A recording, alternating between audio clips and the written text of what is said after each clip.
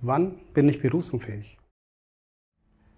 Berufsunfähigkeit liegt vor, wenn Sie aus gesundheitlichen Gründen Ihre letzte Tätigkeit gar nicht mehr oder nur noch teilweise ausüben können. Dies braucht nicht auf Dauer sein, muss aber mindestens sechs Monate andauern. Eine Krankschreibung allein reicht hierbei nicht aus. Es geht vielmehr darum zu verstehen, wie sich Ihre Beschwerden auf Ihre berufliche Tätigkeit auswirken. Können Sie hierfür Beispiele nennen? Gerne. Ein Bäcker zum Beispiel mit einer Mehlstauballergie, der kann auf Dauer nicht mehr als Bäcker arbeiten. Oder ein Dachdecker mit einer Schwindelerkrankung, der kann nicht mehr aufs Dach, kann seine Tätigkeit nicht mehr ausüben. Eine Büroangestellte zum Beispiel mit einer Krebserkrankung, die kann ihre Tätigkeit vorübergehend oder sogar auf Dauer auch nicht mehr ausüben.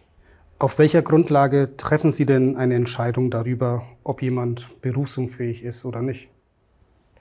Wir prüfen jeden Fall sorgfältig und individuell.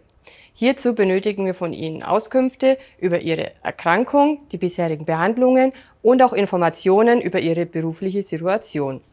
Hierzu benötigen wir insbesondere eine ausführliche Beschreibung, was Sie in Ihrem Beruf täglich gemacht haben. Sollten diese Informationen für eine Entscheidung nicht ausreichen, brauchen wir noch ausführliche Berichte von Ihren behandelnden Ärzten. Wie kann ich die Prüfung beschleunigen?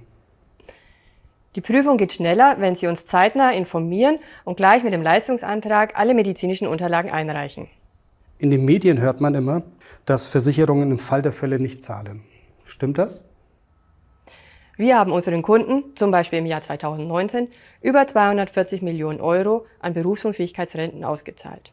Unsere Leistungsquote beträgt 77 Prozent. Externe Ratingagenturen bewerten dies hervorragend. Zur Wahrheit gehört aber auch, dass unberechtigte Leistungsanträge abgelehnt werden müssen. Diese Verpflichtung haben wir gegenüber unserer Versichertengemeinschaft. Wenn Sie noch Fragen haben, schauen Sie gerne bei den FAQs auf unserer Homepage vorbei.